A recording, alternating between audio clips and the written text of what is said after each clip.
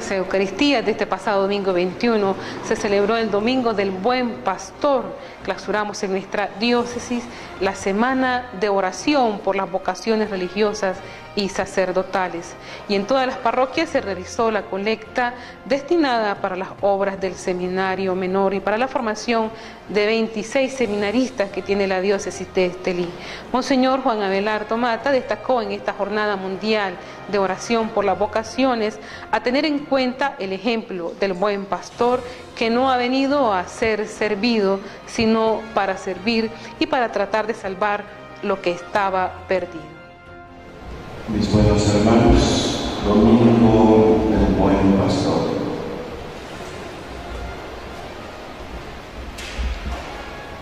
Es interesante cuando uno revisa el texto griego de este capítulo 10 de Juan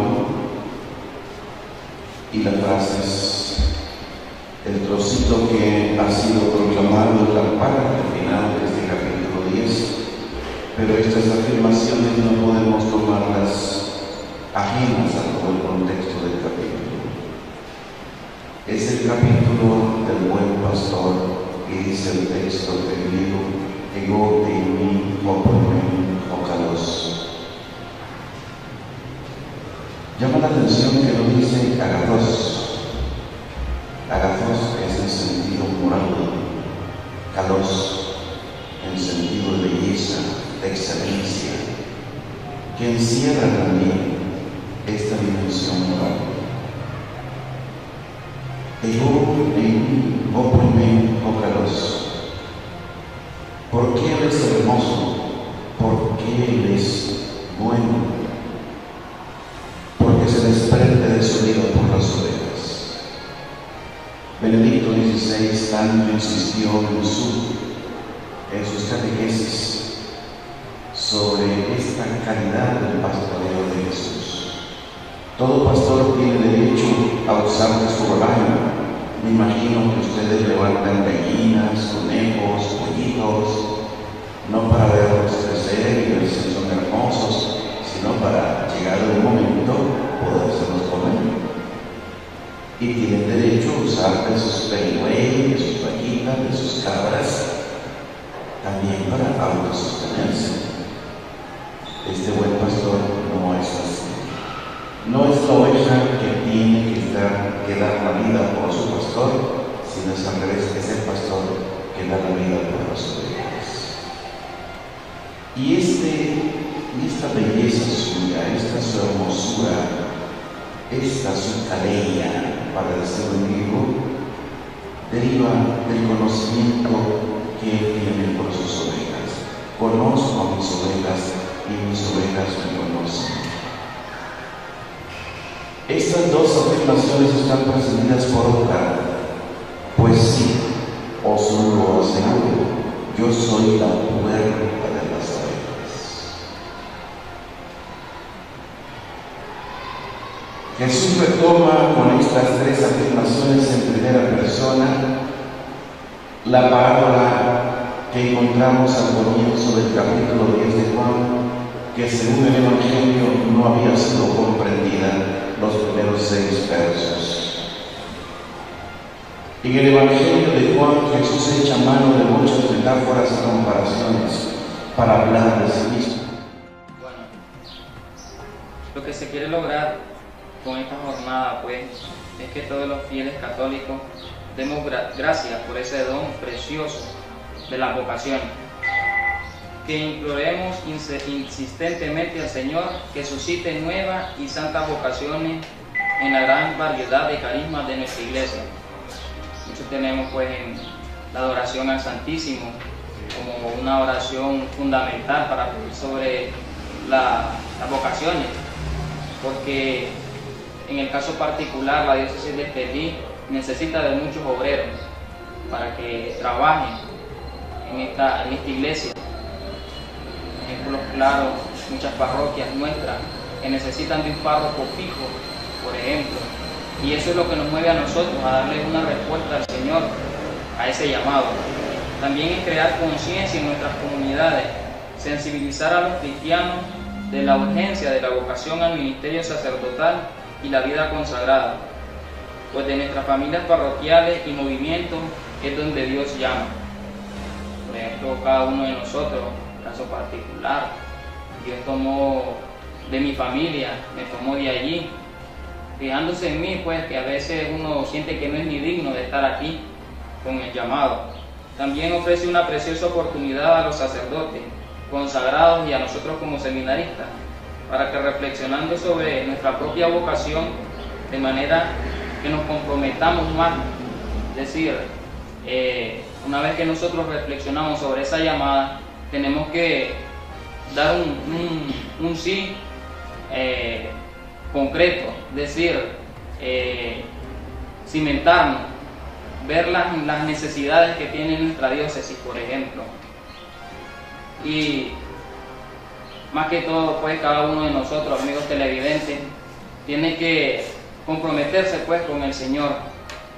Recuerdo que cada uno, en el caso mío, eh, pues yo no iba mucho a misa, eh, pero luego Dios llama y a uno le llega la conversión y uno tiene que crear conciencia y darle ese sí, comprometerse si se siente religioso. Decía anteriormente que como vocación fundamental pues es la vocación a la vida. Toda vocación, todo llamado que Dios hace, surge desde un matrimonio. La pareja que está abierta al proyecto de amor, al proyecto de vida. Y esa es la, principal, ¿no? la principal vocación. Eh, la semana de las vocaciones. Eh, justo hemos comenzado esta semana ya mm, eh, este, la Iglesia Mundial el cuarto domingo de Pascua lo decreta como jornada de oración por las vocaciones sacerdotales y misioneras. Eh, y en la diócesis no se ha puesto un acento suficiente. Por esta razón, este año hemos logrado pedir el permiso que los seminaristas salieran para ayudarnos en esta jornada de oración. Eh, con un mensaje específico concreto sobre el Señor Jesús, buen pastor. Y para citar aquí dos frases de los últimos dos papas, eh, recuerdo bien en el último sínodo que me tocó participar, el sínodo doceavo, eh, sobre la palabra de Dios, el Santo Padre Benedicto XVI hablaba del buen pastor, este buen pastor tan original. Todo pastor tiene derecho a usar de sus ovejas para automantenerse, pero este pastor no sacrifica sus ovejas en beneficio propio, es todo lo contrario, se sacrifica, sacrifica en beneficio de las ovejas, él da la vida por sus ovejas, nadie tiene mayor amor que el que da la vida por sus amigos, y él da como amigo que es la vida por nosotros. Unirlo a esta frase fundamental y experiencia de Jesús y también modelo para nosotros pastores a lo que Francisco, el Papa Francisco acaba de decir que el pastor, que en verdad es pastor, vive con sus ovejas, no las por internet ni, ni a larga distancia la va pastoreando, sino que tiene cercanía, que el verdadero pastor huele a oveja.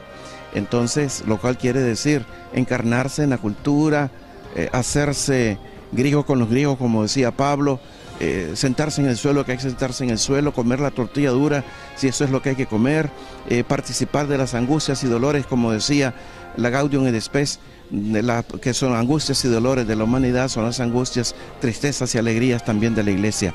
Esto es justamente el pastoreo. Y este es el llamado que aprovechamos a hacer a todos aquellos hermanos, catequistas, delegados de la palabra, jefes de pequeñas comunidades, jefes de sectores, personas que tienen a su cargo la delicada tarea de acompañar el corazón de una persona que quiere convertirse en los retiros de conversión, los predicadores de ejercicios, los aquellos que promocionan el seguimiento, el, el desarrollo de la vida en el espíritu, que somos simples servidores que no, nosotros no podemos poner como pedestal a la gente, solo lo contrario, ofrecer todo nuestro ser en nuestra vida como el Señor Jesús, que se puso de rodillas ante sus apóstoles, Dios que sirve al hombre y al hombre pecador, porque también le lavó los pies a Judas. Estaba allí también él, y también Pedro, y también todos los demás apóstoles, los que entendían de amores como los que todavía no terminaban de entender este misterio de amor. Eh, el, sacerdote es para todos, el buen pastor es para todos y busca sus ovejas.